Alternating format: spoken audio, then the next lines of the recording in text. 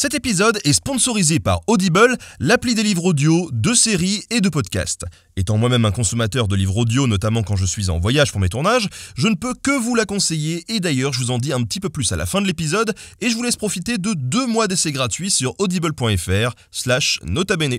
Bonne vidéo mes chers camarades, bien le bonjour. Si je vous dis Première Guerre mondiale, vous pensez tout de suite à des poilus pataugeants dans des tranchées boueuses, écrasés par les obus, Verdun, Tannenberg, les gueules cassées, enfin bref, tout ce qui a pu se passer entre 1914 et 1918 en Europe et dans les colonies, pour aboutir au bilan désastreux de 18 millions de morts. Et pourtant, ça n'est pas de cette guerre dont je vais vous parler dans cet épisode, mais d'une autre, plus ancienne, beaucoup moins connue, et qui probablement est la première véritable guerre mondiale, hein, au sens où les combats s'y déroulent dans le monde entier, impliquant toutes sortes de peuples, et qui a des conséquences super importantes sur les siècles suivants. Allez, on retourne 250 ans en arrière, au XVIIIe siècle, au temps où le roi de France s'appelle Louis XV.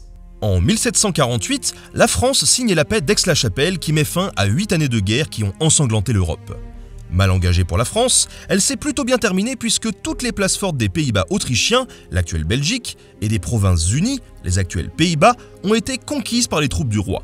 Pourtant, en 1748, Louis XV, grand prince ou plutôt grand roi, veut négocier, je cite, en roi et non en marchand. Il rend donc toutes ses conquêtes pour revenir finalement à la situation d'avant le conflit. Le seul qui bénéficie de cette opération, c'est Frédéric II, le jeune et ambitieux roi de Prusse, l'allié de la France contre l'Autriche, qui lui conserve sa conquête, la riche province de Silésie, arrachée à la jeune Marie-Thérèse d'Autriche.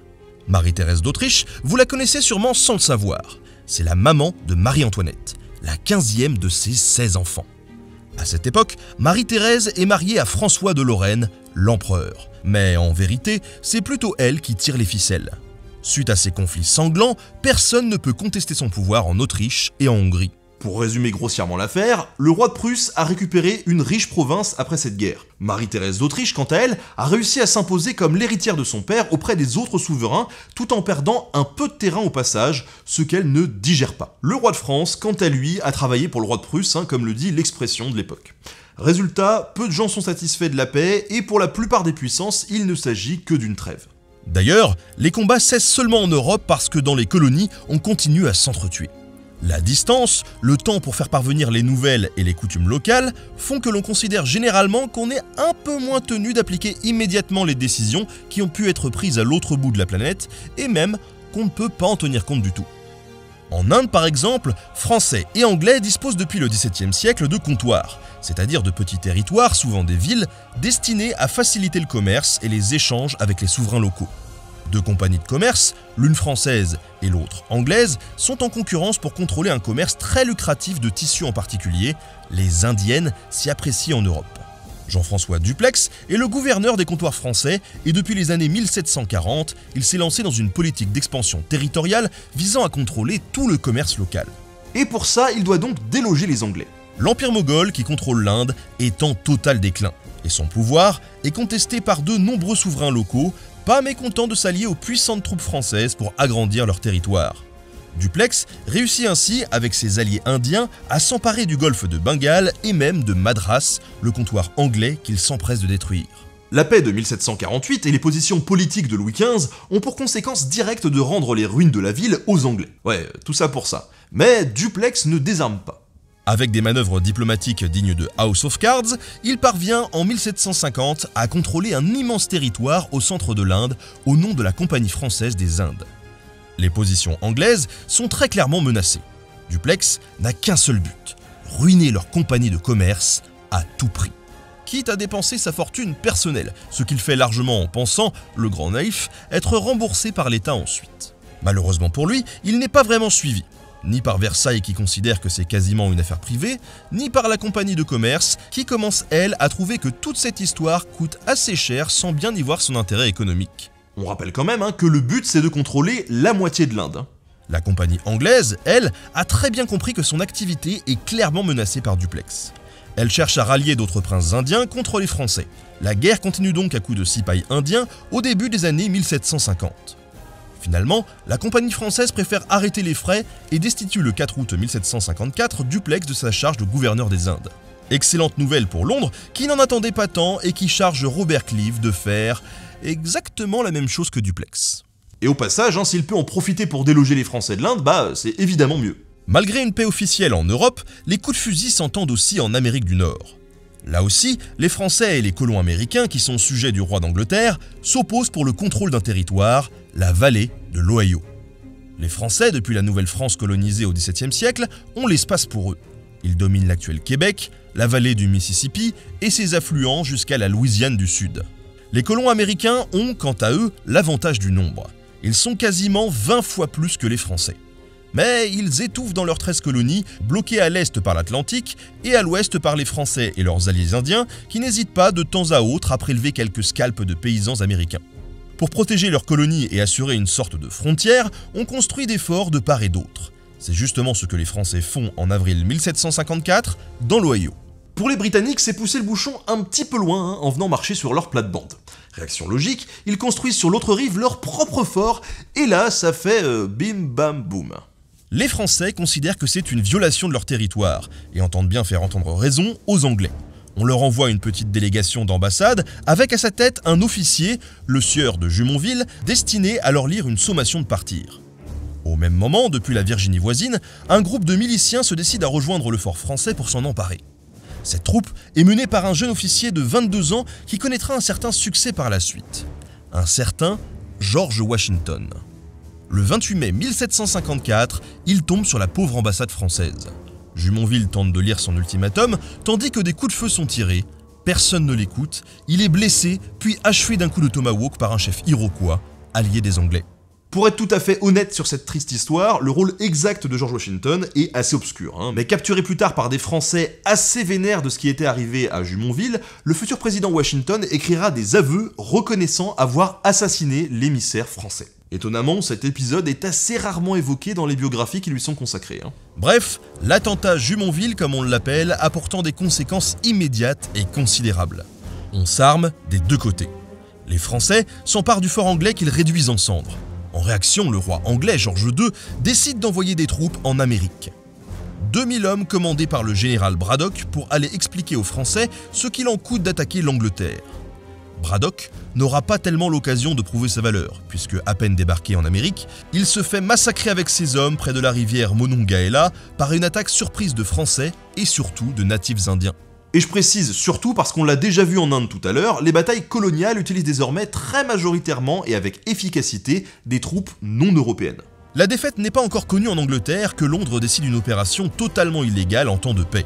La capture en pleine mer de navires de commerce et de pêche français. Le but est simple, priver la flotte française de marins expérimentés. Le gouvernement de Londres le sait, dans la guerre qui s'annonce, la maîtrise des mers est essentielle. Ne pouvant pas s'arrêter en si bon chemin, les Britanniques ajoutent à ce fait d'armes rien de moins qu'une épuration ethnique, la déportation massive des Acadiens. Les Acadiens sont des colons d'origine française tombés sous domination anglaise depuis 1713. Les Anglais n'ont pas confiance en eux et pensent qu'ils feront tout pour aider leurs voisins, les Canadiens français. Expulsés de force d'Acadie, les familles étant souvent séparées, ils sont embarqués avec violence à bord de vaisseaux qui voguent jusque dans les colonies anglaises.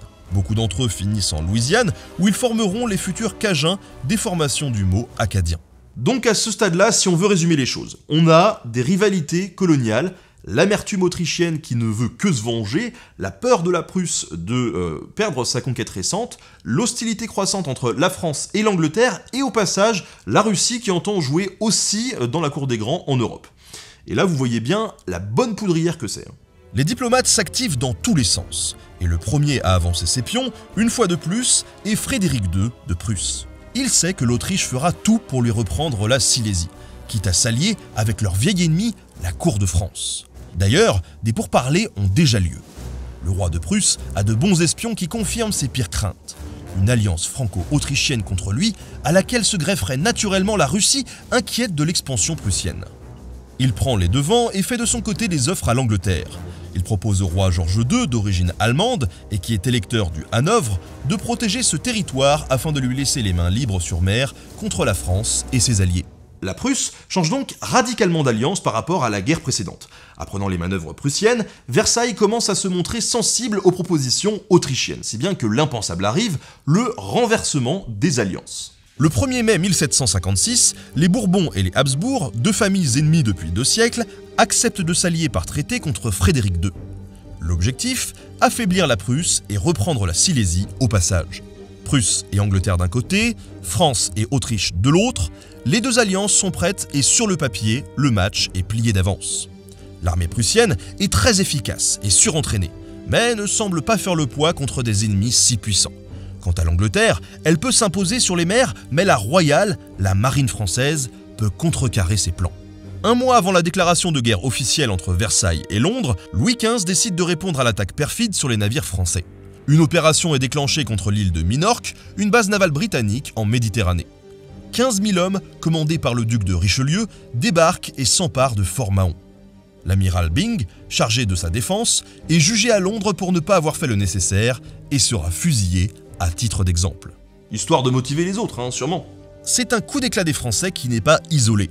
Les troupes envoyées au Canada et commandées par le marquis de Montcalm enchaînent les victoires en s'emparant des forts ennemis. Le général anglais Abercrombie est battu à 1 contre 5 à Fort Carillon en juillet 1758. En Inde, Calcutta est prise par un prince indien allié des Français. En Allemagne, Frédéric II, qui fait face à des ennemis puissants mais dispersés, décide de les attaquer les uns après les autres. Il montre tout son talent militaire en s'emparant brutalement de la Saxe, ce qui lui permet d'incorporer de force les 18 000 Saxons dans son armée. Les Autrichiens, battus à l'Obositz le 1er octobre 1756, n'ont pas pu l'en empêcher. Pourtant, ce désastre militaire a de bons côtés. La Saxe étant un État du Saint-Empire romain germanique, celui-ci entre aussitôt en guerre contre la Prusse. S'ajoute aussi le roi de Suède et celui de Pologne. La Russie, aussi inquiète de l'expansion prussienne, décide enfin de rejoindre l'alliance franco-autrichienne. La tsarine Elisabeth ouvre donc un nouveau front à l'est. La stratégie française évolue elle aussi. Le ministre des Affaires étrangères, monsieur de Rouillet, qui était auparavant à la marine, sait très bien que la flotte française ne tiendra pas longtemps face à la Royal Navy. La conséquence directe d'une défaite sur les mers serait d'empêcher la France d'envoyer des renforts nécessaires aux colonies, ce qui entraînerait fatalement la perte d'une partie de ces colonies. Il faut donc avoir une monnaie d'échange permettant de faire plier la cour de Londres, et quoi de mieux que le Hanovre, la principauté d'origine du roi anglais George II. Le sort de la guerre, pense-t-on à Versailles, se jouera donc en Allemagne, et 100 000 Français commandés par le duc d'Estrée y arrivent en avril 1757. Direction le Hanovre. Le propre fils du roi d'Angleterre, le duc de Cumberland, bien connu pour ses atrocités contre les Écossais lors de la guerre précédente, n'arrive pas à les arrêter. Il se fait battre à Hastenbeck le 26 juillet. La ville de Hanovre est capturée par les Français et les Britanniques capitulent même en septembre. George II, en panique, est prêt à négocier et même à arrêter toute la guerre. C'était sans compter sur l'arrivée d'une sorte de Churchill du XVIIIe siècle hein, à la tête du gouvernement anglais. Un homme dont le programme se résume à faire la guerre à la France par tous les moyens, William Pitt. Le roi le déteste, mais face aux désastres militaires qui s'accumulent, il a dû faire appel à lui pour tenter de redresser la barre. Pitt impose une sorte d'union sacrée pour la victoire dépense des sommes folles pour la marine et les frais de guerre, et s'engage dans une confrontation totale avec la France. Sa vision est claire. L'avenir de l'Angleterre se jouera par les colonies et la domination des mers. Un visionnaire. En attendant, en Allemagne, ça se gâte sérieusement pour Frédéric II. Il est sévèrement battu par les Autrichiens à Kolin. Près de 14 000 soldats prussiens sur les 32 000 engagés meurent lors de cette bataille, ce qui l'oblige à libérer la Bohème qu'il occupait. Les Français envoient aussi contre lui une partie de leur armée d'Allemagne, commandée par Soubise qui a récupéré les troupes du Saint-Empire. Les Russes, enfin, écrasent une autre partie de l'armée prussienne en août. Mais le roi de Prusse est un génie militaire et il le montre à deux reprises. Le 5 novembre, il surprend totalement les Français et l'armée du Saint-Empire à Rosbach, qui perdent 10 000 hommes dans l'affaire alors qu'ils n'affrontaient que 550 Prussiens. Soubise est très critiqué pour cette défaite, et partout à Paris, on le montre cherchant son armée la lanterne à la main. Je vous invite d'ailleurs à voir cette magnifique vidéo de la chaîne sur le champ pour en savoir plus. La deuxième victoire du vieux Fritz, comme on surnomme Frédéric II, se joue le 5 décembre à Leuthen contre les Autrichiens. Il innove en utilisant une bonne vieille technique de la phalange thébaine, l'ordre oblique, pour casser la ligne de défense des Autrichiens. Un quart de l'armée autrichienne est détruite. C'est brillant, c'est clair, mais les ennemis de la Prusse sont trop nombreux et les défaites s'accumulent. Zorndorf contre les Russes le 25 août 1758 ou encore Könnersdorf le 12 août 1759. Lors de cette bataille, Frédéric II est blessé et manque d'être capturé. Berlin est même envahi par les Russes le 9 octobre 1760. Il y a de moins en moins de soldats dans l'armée prussienne et on en est réduit à enrôler des adolescents. Ça rappelle des trucs, non? Le roi de Prusse est en tout cas totalement au fond du trou et il parle même de se suicider dans les lettres qu'il envoie à sa sœur. Mais si la Prusse va mal, ça n'est pas le cas de son allié anglais. C'est toujours utile les alliés. Dans le Hanovre, ça s'est gâté pour les Français. Les Anglais ont levé une nouvelle armée confiée à l'excellent Ferdinand de Brunswick, qui ne respecte pas les règles de la guerre de l'époque. Il attaque les troupes du duc de Richelieu en plein hiver, alors qu'habituellement on attend poliment le printemps pour s'entretuer. Les Français sont obligés de se replier du Hanovre, et s'ils n'avaient pas bien compris le message, la défaite de Minden en août 1759 finit par les convaincre de partir de là. Outre-mer, la stratégie de Pitt fait des merveilles, et la Royal Navy est redoutable. Les raids se multiplient sur les colonies françaises. La forteresse de Louisbourg, qui garde l'entrée du Saint-Laurent, est prise en juillet 1758. Désormais, les troupes en Nouvelle-France ne peuvent quasiment plus recevoir de renforts, alors qu'il en arrive régulièrement d'Angleterre. La résistance est forte, mais les forts tombent les uns après les autres. L'un d'entre eux, le fort Duquesne, est même renommé par les Anglais fort Pittsburgh en hommage au Premier ministre. Québec, la capitale de la colonie, est assiégée en septembre 1759. Le jeune général Wolfe apprend l'existence d'un petit chemin permettant de se faufiler au plus près de la ville et au matin du 13 septembre, ses soldats réussissent, au prix parfois d'une véritable escalade, à se présenter sur les plaines d'Abraham face aux murailles de Québec. Le marquis de Montcalm décide de faire une sortie pour ne pas les laisser se renforcer. Mais les troupes canadiennes sont mal employées dans cette bataille à l'européenne et en deux heures, la bataille est jouée. Les deux généraux sont mortellement blessés et Québec capitule. Le chevalier de Lévis, qui était le brillant second de Montcalm, reprend le combat dans une logique très moderne de guerre totale. Jusqu'au boutiste, il parvient même à assiéger à son tour Québec, désormais aux mains des Anglais. Mais les bateaux arrivant sur le Saint-Laurent sont anglais. Il n'y a alors plus aucun espoir à attendre de la France et Montréal capitule le 8 septembre 1760. Il faut dire que depuis 1759, la France n'a plus de marine. Afin de préparer une invasion de la Grande-Bretagne, le principal ministre de Louis XV, le brillant duc de Choiseul, grosso modo l'équivalent français de Pitt, avait décidé un regroupement de la flotte de guerre. Mais celle venue de la Méditerranée est coulée le 19 août au large du Portugal et celle de l'Atlantique au large de Quiberon le 20 novembre. Il est donc impossible d'aider les colonies. Les unes après les autres, les îles à sucre des Antilles sont conquises par l'Angleterre. La Guadeloupe, la Dominique, la Martinique, même le comptoir africain du Sénégal est conquis en décembre 1758. En Inde aussi, les désastres s'accumulent pour les mêmes raisons. Robert Clive s'empare de Chandernagore dès mars 1757. Et en juin, il écrase les troupes de l'allié local de la France, le Nawab du Bengale, à Placé, près de Calcutta. Lali Tolandal, l'officier qui commande les maigres troupes françaises et leurs alliés indiens, assiège sans succès Madras. Il se fâche avec les Indiens, une idée moyennement brillante quand les Français dépendent à ce point d'eux sur le terrain. Il se fait battre à Wandiwash en 1760 et quelques mois plus tard, il capitule à Pondichéry, l'un des derniers comptoirs qui est resté aux Français. Comme le pauvre amiral Byng à Minorque, Lali Tolandal est jugé à son tour et exécuté à cause de cette défaite. On va résumer cette situation hyper compliquée. En 1761, la France a perdu quasiment toutes ses colonies, n'a plus de marine de guerre et recule en Allemagne. Malgré ce tableau peu réjouissant, Choiseul, qui est un brillant diplomate, réussit à convaincre l'Espagne de rejoindre l'Alliance. Probablement pas l'idée du siècle pour Madrid, hein, parce que ça n'aboutit qu'à la prise par l'Angleterre de la Havane le 10 août 1762, et euh, même de Manille aux Philippines en octobre. Une seule chose pouvait faire basculer la guerre et tout rétablir pour la France, la défaite finale de la Prusse. Parce que après tout, c'est surtout contre elle hein, que tout le monde en a. Et on semble s'en rapprocher assez clairement. En 1762, Frédéric II n'a plus que 60 000 hommes, soit un tiers de son armée d'origine. Et les Anglais ont arrêté de lui verser de l'argent pour en recruter de nouveaux. Le sort semble être jeté pour le Prussien quand un coup de bol monumental vient lui sauver la mise. La tsarène Élisabeth meurt le 5 janvier. Le nouveau tsar, Pierre III, est un admirateur fou de Frédéric II. On raconte qu'il passe ses journées à défiler en uniforme prussien, ce qui est tout de même un peu surprenant pour un tsar russe. Pour Frédéric II, c'est en tout cas totalement inespéré. Il parle même de miracle, ce qui est plutôt drôle puisqu'il ne croit pas en Dieu.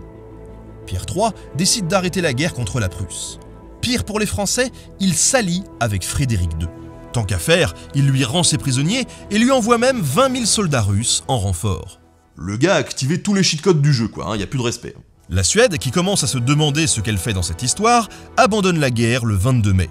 Maintenant qu'il n'a plus les Russes contre lui, Frédéric II décide de concentrer ses troupes contre les Autrichiens qu'il bat à plusieurs reprises avant d'envahir de nouveau la Saxe. À Londres, cependant, on considère qu'il est temps de finir la guerre. George II est mort en 1760 et son successeur, George III, n'apprécie pas Pitt qui démissionne en octobre 1761. La guerre ruine totalement le royaume qui doit entretenir une flotte de guerre puissante et plusieurs armées. Choiseul laisse croire à Londres qu'une paix durable est possible et les négociations débutent. Elles aboutissent à deux traités. Le traité de Paris, le 10 février 1763, n'est pas aussi désastreux qu'on le décrit souvent.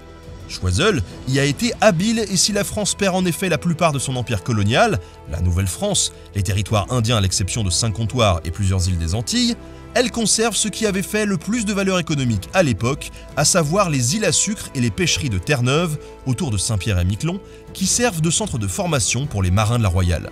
Bon, la France doit quand même dédommager l'Espagne hein, pour l'alliance bien ratée, et donc Madrid récupère la Louisiane en compensation de la Floride qui rejoint les colonies anglaises d'Amérique.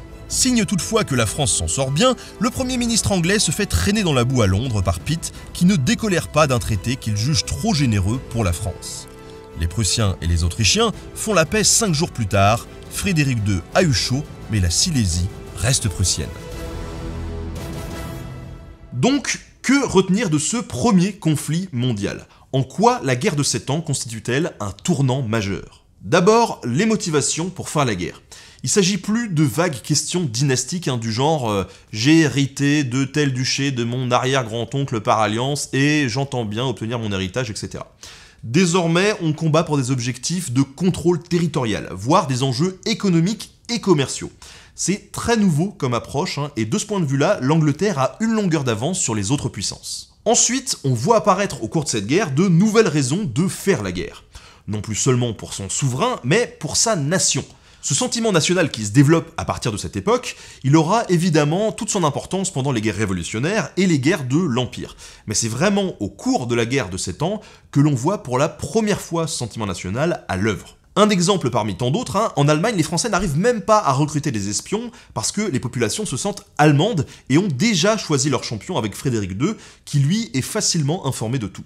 Les façons de faire la guerre ont changé aussi on s'attaque en dehors de toute déclaration de guerre et les actes illégaux et crimes de guerre se multiplient. Nous l'avons vu avec la déportation des Acadiens qui annonce les épurations ethniques du XXe siècle. Si l'on se combat comme d'habitude à coups de canon et de lignes de soldats, on n'hésite pas non plus à s'affronter à l'indienne avec des tomahawks ou à pratiquer la petite guerre, ce que l'on appellera plus tard la guérilla. En Nouvelle-France, on n'est d'ailleurs pas loin de la guerre totale avec la destruction des récoltes ou la mobilisation des civils dans l'impératif de guerre, surtout après 1759. Dans les colonies, les populations indigènes sont aussi largement mobilisées dans l'effort de guerre. Aucun lieu n'est épargné par le conflit. Dans les accords de paix aussi, ce n'est plus comme avant. Un troc du genre je t'ai pris ce comté, je te l'échange contre cette colonie que tu as envahie. Non, on vise maintenant au démantèlement des forces de l'adversaire, à l'image de la France qui perd l'essentiel de son premier empire colonial. La guerre a coûté une fortune à toutes les puissances engagées, mais surtout à l'Angleterre, qui estime qu'elle a dépensé beaucoup trop pour aider les colons américains contre la menace des Français et des Indiens. D'ailleurs, aux États-Unis, la guerre de 7 ans est appelée The French and Indian War. Les Québécois l'appellent aussi la guerre de conquête, un nom qui montre assez clairement comment ils perçoivent les choses de leur point de vue. Donc, le gouvernement anglais aimerait bien que les colons américains remboursent un peu ce qu'ils ont coûté et décide une série de taxes les concernant pour se refaire économiquement. Ces taxes, sur le rhum, le tabac ou le thé, sont violemment critiquées en Amérique car elles paraissent imposées et arbitraires. Et voilà comment la guerre de 7 ans alimente directement la guerre suivante, celle d'indépendance des États-Unis. Les finances françaises ne se portent guère mieux, et pour compenser le déficit qui s'accroît, la monarchie emprunte, accentuant le poids de la dette qui double, ce qui aura des conséquences 25 ans plus tard, en 1789. Enfin, le rapport de force des puissances européennes a clairement changé. Si la France reste encore dominante, son prestige a pâli et ce n'est plus Versailles qui est l'arbitre de l'Europe, comme ça a pu l'être depuis Louis XIV et jusqu'en 1748. La Prusse n'est plus non plus ce petit Allemand avec à sa tête une monarchie de parvenus. Bien que très affaiblie démographiquement et dévastée, c'est désormais une puissance majeure avec qui compter et qui est en pleine ascension. Le basculement de la Russie a aussi changé le cours de la guerre et cela indique qu'en Europe, il faudra maintenant compter avec Moscou. Prusse et Russie ont d'ailleurs bien intégré qu'elles sont suffisamment puissantes pour agir dans leur coin et quelques années plus tard s'entendent tranquillement avec l'Autriche pour dépecer la Pologne. Ça sera pas la dernière fois, hein, malheureusement pour eux. Pour finir, l'Angleterre s'est imposée comme la maîtresse des mers et a compris que son destin est désormais dans le contrôle de territoires coloniaux permettant une domination commerciale. La guerre de 7 ans annonce donc l'hégémonie britannique du 19e siècle que beaucoup d'historiens anglais font d'ailleurs débuter à 1759, l'année de la chute de Québec. Mais une guerre, c'est surtout des morts et le bilan est difficile à établir. Les historiens pensent qu'il y a eu entre 600 000 et 700 000 soldats de tués. Pour les civils, c'est plus compliqué à estimer, mais peut-être plus d'un million de morts. Ce n'est pas la guerre la plus meurtrière de l'Ancien Régime, la guerre de 30 ans étant par exemple une boucherie sans nom, mais ce qui est nouveau cette fois-ci, c'est que les victimes se comptent dans de nombreux lieux de la planète. La guerre de 7 ans annonce surtout celle du XXe siècle où tous les coups sont possibles et où on n'hésite pas à pratiquer la propagande et la désinformation. Elle marque enfin durablement l'histoire de l'Europe et du monde, et les guerres suivantes sont en grande partie son héritage.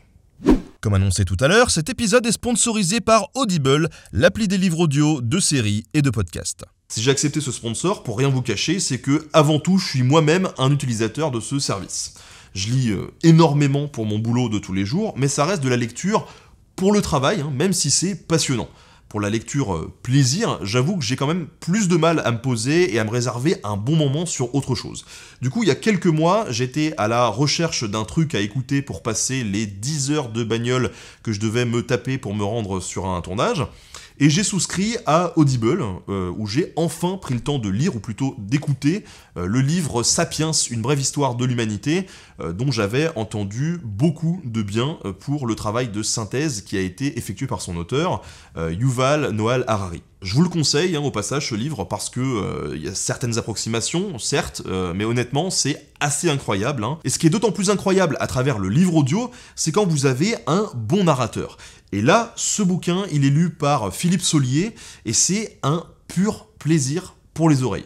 Moi, je suis overfan et j'irai même plus loin. Après l'écoute de ce livre sur Audible, j'ai tenté de piquer quelques trucs de narration à Philippe Solier parce que c'est une vraie leçon de storytelling, de rythme et de ton. Bref, si ça vous tente de découvrir ce livre et beaucoup d'autres sur Audible, c'est peut-être le moment. Alors comment ça marche? En gros, vous avez un catalogue de 400 000 titres à la louche à disposition et vous payez un abonnement de 9,95€ par mois. Pour chaque abonnement, vous avez le droit à un crédit audio. Et avec ce crédit audio, vous pouvez vous offrir n'importe quel livre audio sur le catalogue Audible, peu importe le prix. Un crédit égale un livre. Une fois que vous avez épuisé votre crédit, vous pouvez tout à fait acheter d'autres bouquins, mais avec euh, des euros hein, cette fois-ci. Et la bonne nouvelle, c'est qu'en créant un compte Audible, vous avez un mois gratuit, donc un crédit offert et donc un livre audio de votre choix à embarquer pour tester chez vous ou en déplacement. Et en vous rendant sur l'adresse euh, audible.fr slash notabene, vous avez non pas un, mais deux mois gratuits, donc deux audiobooks euh, gratuits. C'est toujours ça à prendre, hein, donc je vous mets toutes les infos en description, n'hésitez pas si vous voulez en savoir plus. Merci d'avoir suivi cet épisode, on espère une fois de plus que vous avez appris des choses. Merci à Stéphane Genet avec qui j'ai préparé cette émission, à Tanguy pour l'iconographie et à Will pour le montage. On se retrouve très bientôt, salut